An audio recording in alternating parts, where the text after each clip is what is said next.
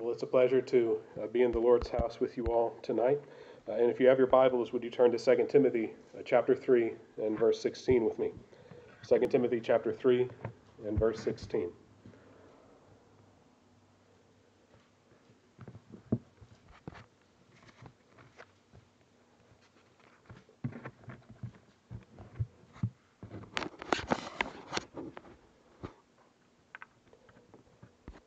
And uh, tonight, as we finish up our study that we've been doing uh, on the Roman Catholic Church, uh, I just want us to go through all that we've looked at up to this point and kind of summarize uh, a lot of that material that we've looked at.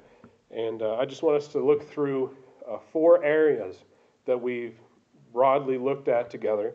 And I'd like us to just remind ourselves of what the, the Catholic Church teaches about those things and what the Scripture uh, teaches about those things. And so if you have your Bibles in 2 Timothy chapter 3, we'll begin reading in verse 16 together. The Scripture says, All Scripture is given by inspiration of God and is profitable for doctrine, for reproof, for correction, for instruction in righteousness, that the man of God may be perfect, thoroughly furnished unto all good works. I charge thee, therefore, before God and the Lord Jesus Christ, who shall judge the quick and the dead his appearing and his coming, preach the word. Be instant in season, out of season. Reprove, rebuke, exhort with all longsuffering and doctrine. For the time will come when they will not in, uh, endure sound doctrine, but after their own lust shall they heap to themselves uh, teachers, having itching ears. And they shall turn away their ears from the truth, and shall be turned unto fables. And now let's go to our Lord in prayer. Father God, we come before you, and Lord, we thank you for uh, the faith that's been delivered to us, the faith that's found in your word and in Jesus Christ, Lord. And we pray as we come before your throne that by Jesus Christ you would hear us. Lord, give us uh, hearts to understand what your word says tonight. Uh, Lord, give us uh, by it the uh, things that we need, the equipment that we need to go and uh, preach the gospel uh, to those in our lives that are in the Roman Catholic Church. Uh, Lord, we pray that they would be made ready by the Spirit to hear us and that they would come and trust in Jesus Christ. Uh, Lord, we ask that where we've sinned against you, that you'd forgive us by Him. Lord, that you'd be with our missionaries where they are to help them to proclaim Him to the nations, uh, to have enough for the tasks that you've delivered to them. Lord, be with our leaders and help them to turn to your Son. Uh, Lord, help them to see all that they have in Him and all the prosperity of this land can be found in Him, Lord. And we pray that you'd help them to uh, surrender their ministry uh, into His hands. Lord, we again ask that where we've sinned against you, that you'd forgive us and that you'd keep us safe and be with those that couldn't be here with us tonight and bring us all to the day of Christ.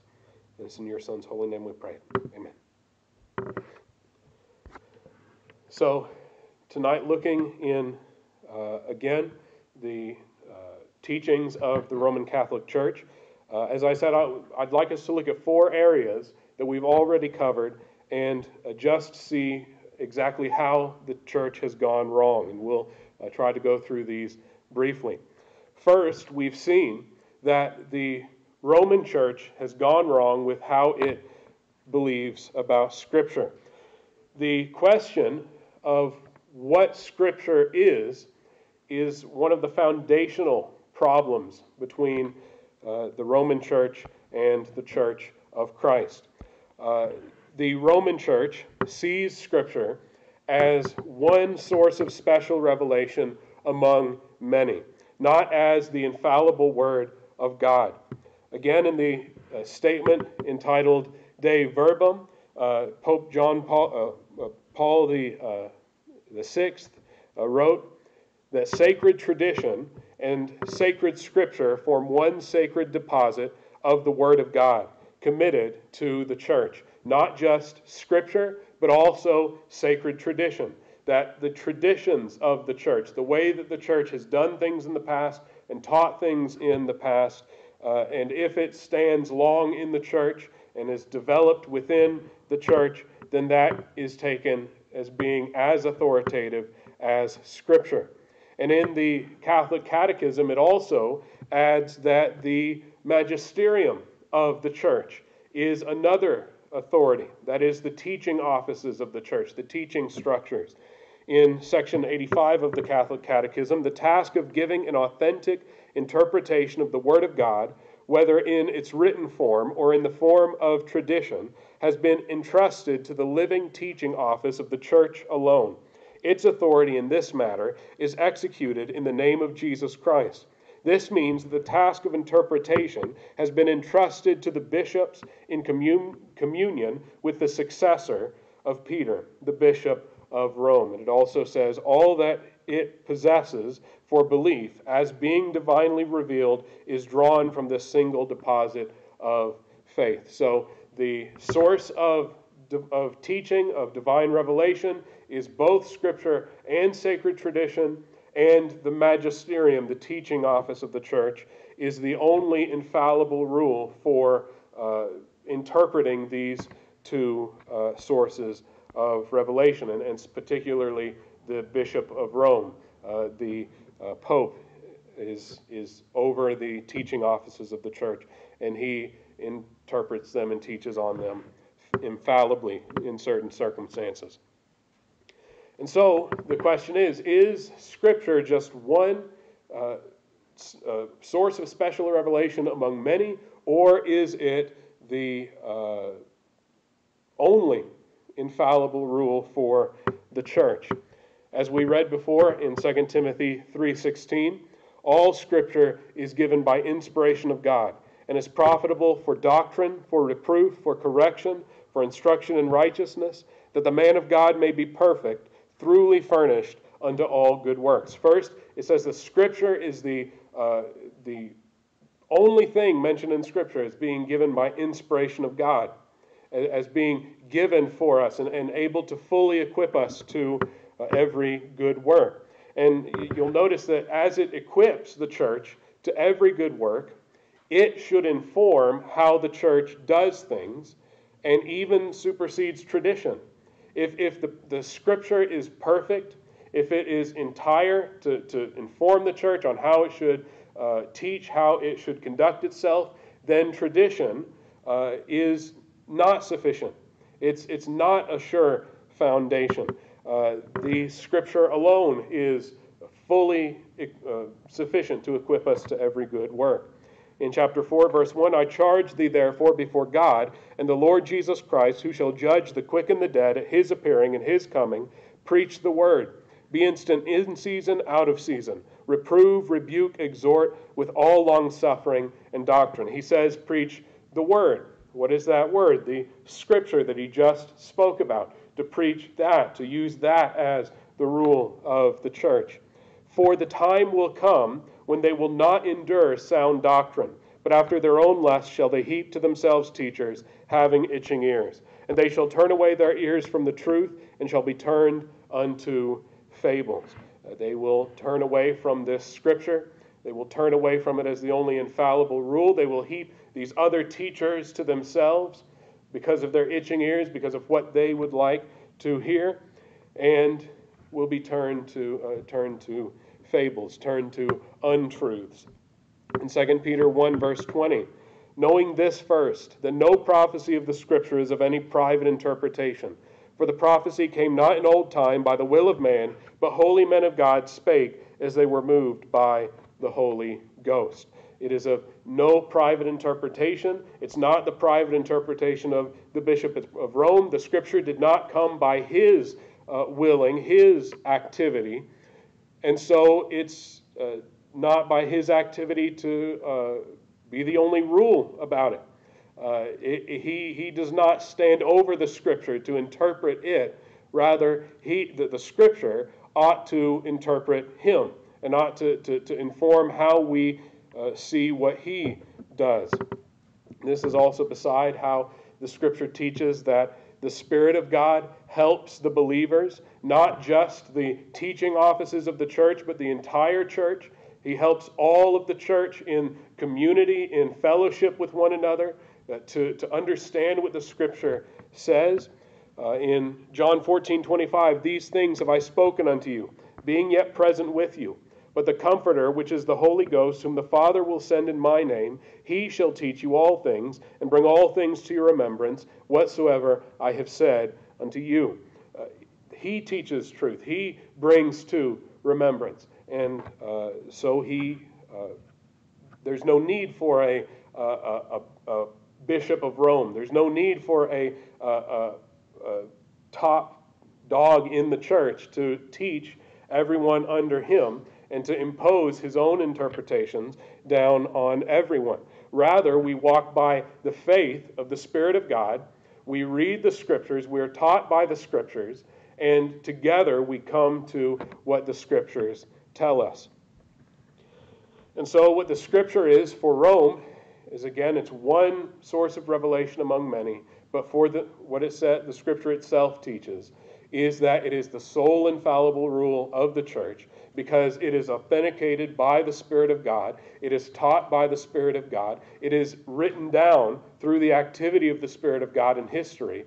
And so only it is, uh, is the rule of faith for us.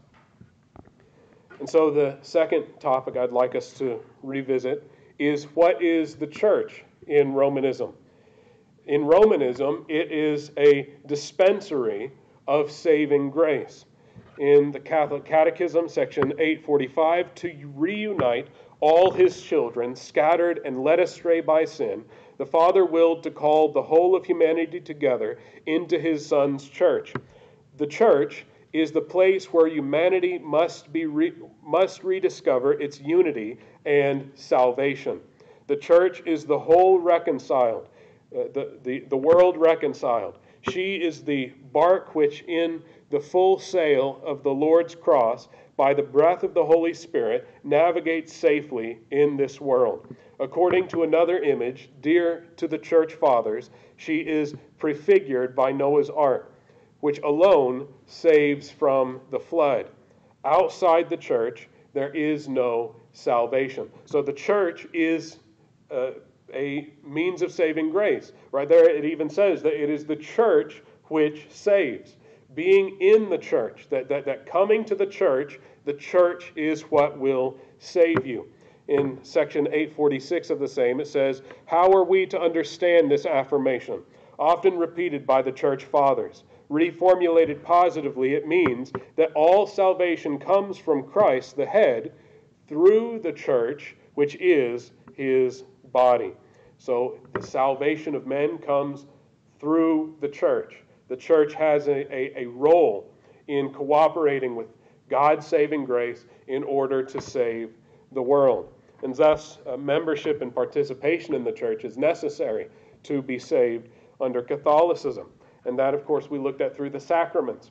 They give out saving grace by the uh, works that they give people to do, uh, whether it be by baptism or by the Lord's table or by penance or whatever, uh, that they give saving grace in this way.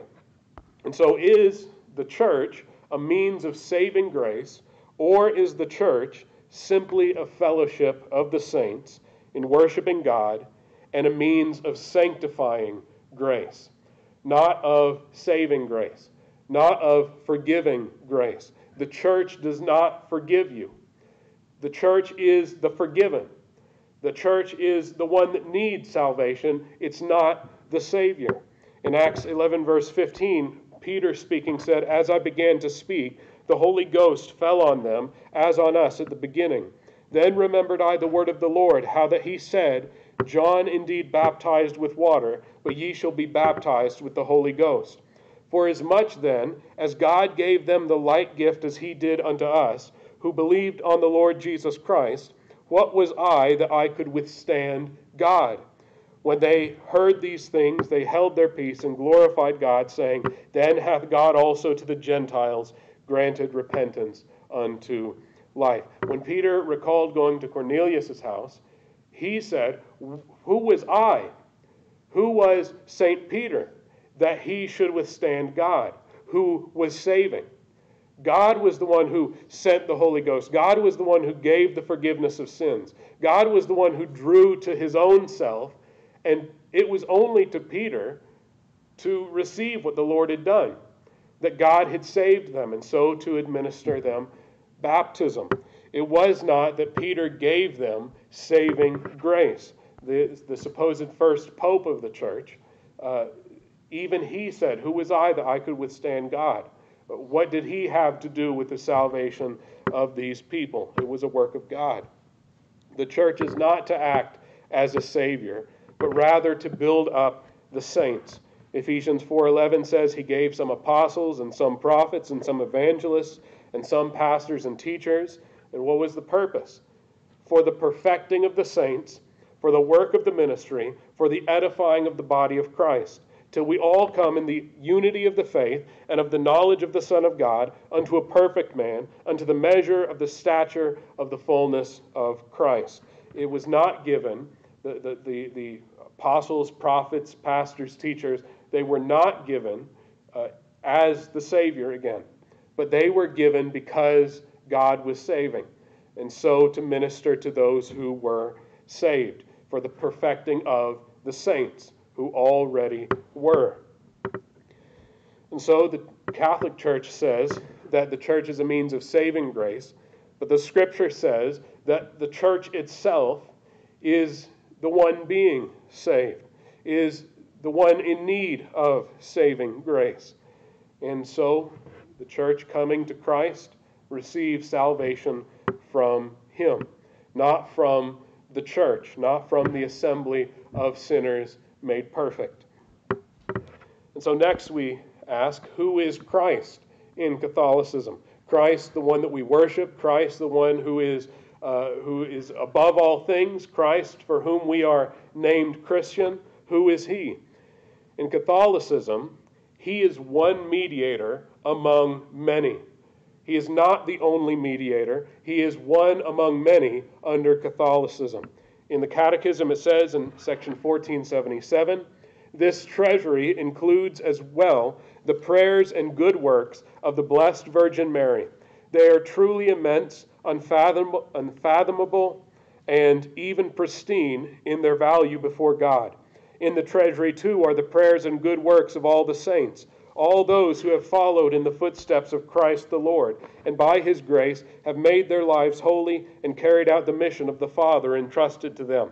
In this way, they attained their own salvation and at the same time cooperated in saving their brothers in the unity of the mystical body. So, Mary and the saints, they cooperated, they had a role to play in the salvation of their brothers and sisters under Catholicism, the saints that are now on the earth. In section 962, it goes further and it says, This motherhood of Mary in the order of grace continues uninterrupted from the consent which she loyally gave at the Annunciation and which she sustained without wavering beneath the cross until the eternal fulfillment of all the elect taken up, uh, taken up to heaven, she did not lay aside this saving office, but by her manifold intercession continues to bring us the gifts of eternal salvation.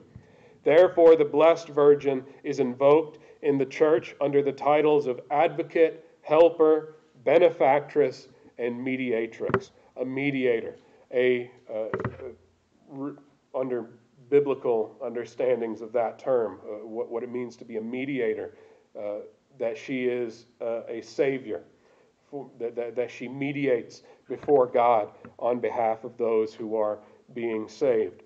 And so, the uh, role of Christ in Catholicism uh, is not that he is the sole mediator, is not that he is the sole uh, person cooperating in the salvation of humanity, but that he is one among many intercessors. He is, in fact, one among many saviors.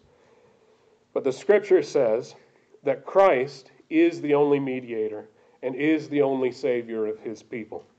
1 Timothy 2, verse 5 says, For there is one God and one mediator between God and men, the man Christ Jesus, who gave himself a ransom for all to be testified in due time. And Hebrews 4:12 says, "Seeing then that we have a great high priest that has passed into the heavens, Jesus the Son of God, let us hold fast our profession. For we have not an high priest which cannot be touched by the feeling of our infirmities, but was in all points tempted like as we are, yet without sin. Let us therefore come boldly unto the throne of grace, that we may obtain mercy and find grace to help in time of need. He is the only mediator, and He is the only one that we need come to for saving grace. Let us come boldly before the, the throne of grace, to, to the uh, high priest that has been touched with the feeling of our infirmities, that was tempted in every point, like as we are, yet without sin. The only mediator that we need is Christ and the only mediator that exists. In 2 Corinthians 5:21 for he hath made him to be sin for us who knew no sin that we might be made the righteousness of God in him. Uh, as we looked in the course of uh, our studies of Catholicism, we saw also that the righteousness of the saints, the good works of the saints, are counted towards uh, sinners, uh, that, that they are part of the righteousness that is given to penitent sinners. But the scripture knows no such thing of this. The only righteousness is the righteousness of God that's given to us by faith. And so, while he is counted as one among many intercessors, one among many mediators, the scripture says he is the only mediator, he is the only intercessor, the only savior of mankind. And so, with that, how are we forgiven under Catholicism? Under Catholicism, again, it is by not only the righteousness of Christ, but also by our own efforts and the efforts of the saints in cooperating with God's grace.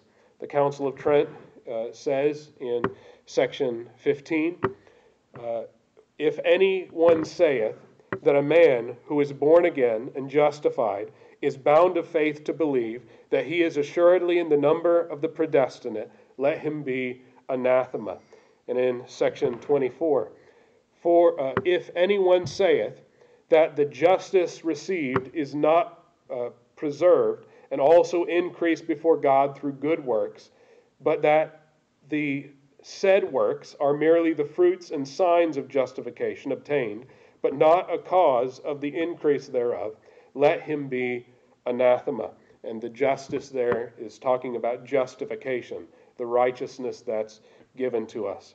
Uh, that if any man say that that justice, that righteousness uh, is uh, not increased by good works or maintained by good works, then it says, let him be accursed, let him be anathema. And so they say that our salvation is by works by meriting the grace of God given to us. But the scripture says the salvation is by faith alone, by simple trust in Jesus Christ. Romans 4, verse 4 says, Now to him that worketh is the reward not reckoned of grace, but of debt. But to him that worketh not, but believeth on him that justifieth the ungodly, his faith is counted for righteousness even as David also describeth the blessedness of the man, unto whom God imputeth righteousness without works, saying, Blessed are they whose iniquities are forgiven, and whose sins are covered. Blessed is the man to whom the Lord will not impute sin.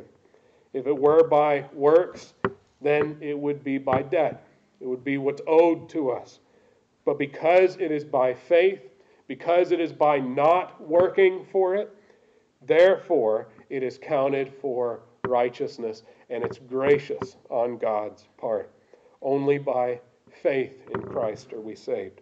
Titus 3 4 says, After that, the kindness and love of God our Savior toward man appeared, not by works of righteousness which we have done, but according to his mercy he saved us, by the washing of regeneration and renewing of the Holy Ghost, which he shed on us abundantly through Jesus Christ our Savior. Not by works of righteousness, not by anything that we had done, but according to His mercy, He saved us. And how was that? By pouring out the Holy Ghost towards us.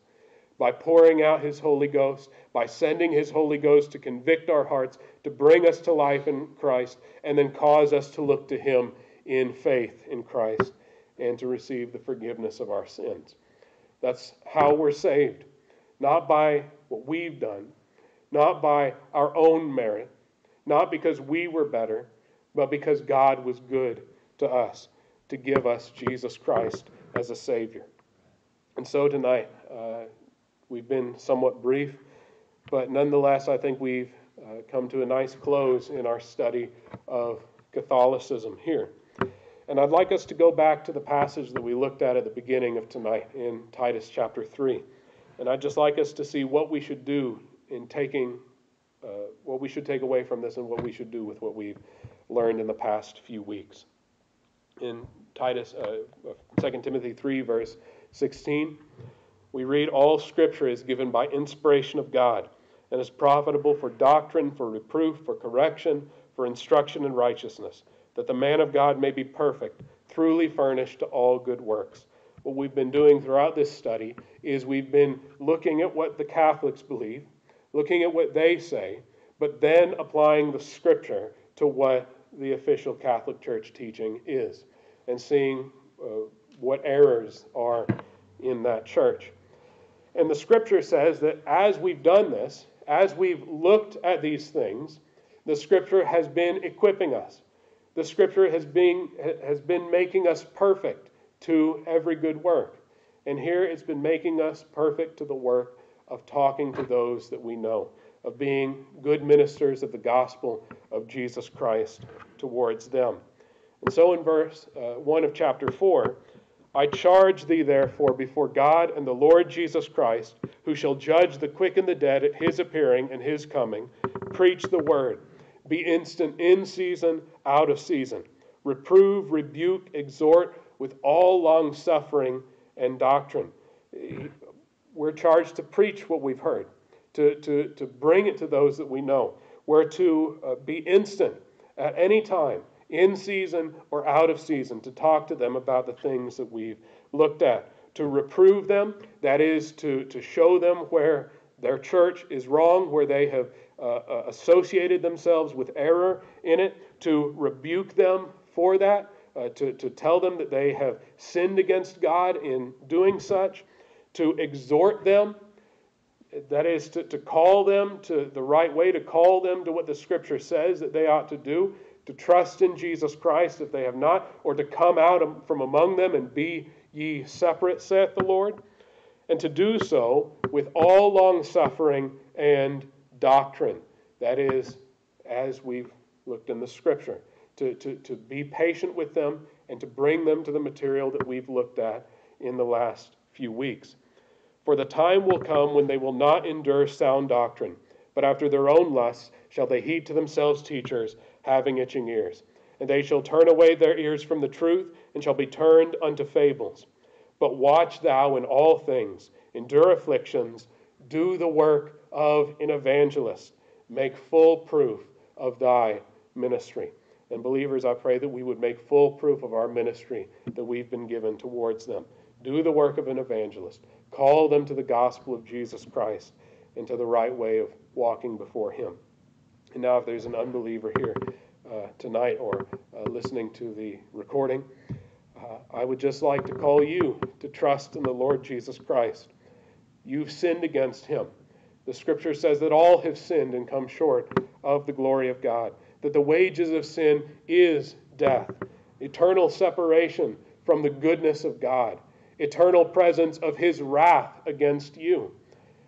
But the scripture says that the Lord Jesus Christ can be your salvation, that the wages of sin is death, but the gift of God is eternal life through Jesus Christ our Lord. And as we read earlier, that this comes to us not because of what we've done, not because we have attended the right congregation or because we've uh, done the right things in our own lives, but in Romans 4, verse 4, to him that worketh is the reward not reckoned of grace but of debt, but to him that worketh not, but believeth on him that justifieth the ungodly, his faith is counted for righteousness. And so, if you will have that faith in Jesus Christ, then you will have it counted to you, His righteousness counted to you for righteousness. And so I pray that you would trust in Him before it's too late. And believers, let's take what we've learned and uh, put it into use uh, in our own lives as God gives us opportunity to do so. And let's go to our Lord in prayer. Father God, we come before you, and Lord, we thank you for the surety of the gospel that you've given to us. Uh, Lord, that we can lean fully on Christ uh, and have life in Him. And Lord, we pray that you would help us to uh, take the knowledge of that uh, life, Lord, that power that's in His blood to those that we know, Lord. Uh, we pray that if we have any that are in our families or among our friends that are in that church, Lord, the Roman church, Lord, that you would help us to speak to them boldly. Lord, help us to overcome skittishness about talking about religion. And Lord, we pray that uh, you would open their hearts to receive the gospel and they'd be saved. Lord, again, we pray for those that are not with us tonight to, that you would keep them safe. Uh, Lord, that you would give them, uh, give them help and comfort in their troubles. And uh, Lord, we pray that you would bring us all back together to worship before you again. Yes, in Jesus Christ's holy name we pray. Amen.